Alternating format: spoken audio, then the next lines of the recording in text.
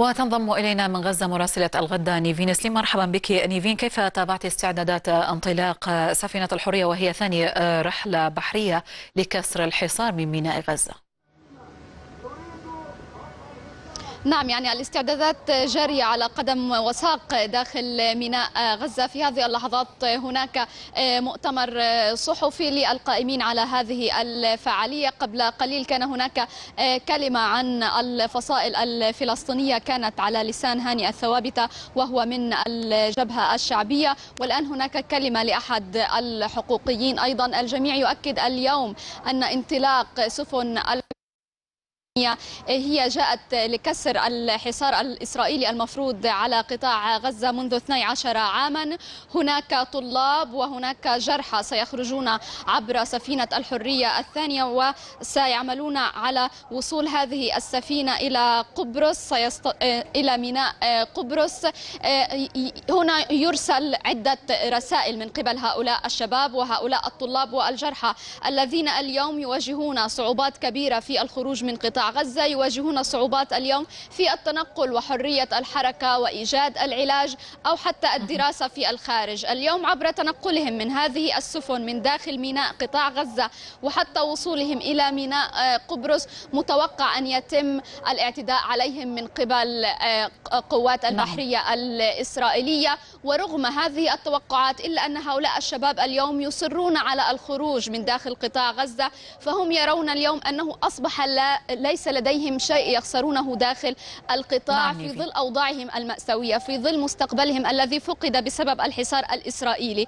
اليوم رغم تأكدهم أنه سيتم اعتقالهم من قبل البحرية الإسرائيلية كما حصل مع الطلاب والجرحى الذين خرجوا على متن سفينة الحرية الأولى في شهر مايو الماضي إلا أنهم سيخرجون اليوم من قطاع غزة. وهناك مطالبات من قبل هيئة كسر الحصار مطالبات دولية للمجتمع الدولي أن يتم الضغط على إسرائيل لحماية هؤلاء داخل المياه الإقليمية وألا يتم اعتقالهم من قبل قوات البحرية الإسرائيلية.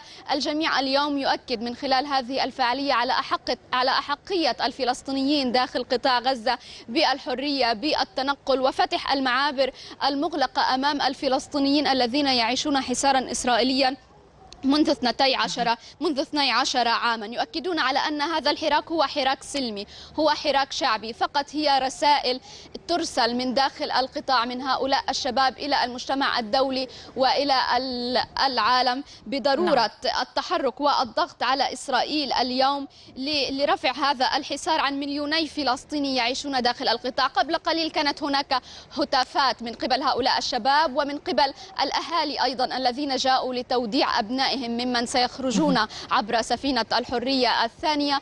هتافات بضرورة رفع الحصار عن قطاع غزة بضرورة فتح الطرق أمامهم سواء الطرق البرية نعم أو الطرق البحرية. اليوم هذه الفعالية تأتي وخروج هؤلاء عبر بحر قطاع غزة في ظل تشديد الحصار الإسرائيلي واتخاذ القيادة الإسرائيلية لإجراءات جديدة تعمق الحصار الإسرائيلي على قطاع غزة. اليوم جيش الاحتلال الإسرائيلي أصدر تعليمات بأنه تم منع الصيادين من دخول البحر لمسافة تسعة أميال وتم إرجاع المسافة المسافة إلى مسافة ستة أميال وبالتالي متوقع أن يتم اعتقال هؤلاء في مسافة قريبة ربما قبل وصولهم إلى المياه الإقليمية على مسافة 12 ميلا وهي المسافة التي تم اعتقال بها المرة الماضية الشباب والطلاب والجرحى الذين كانوا على متن سفينة الحرية الأولى.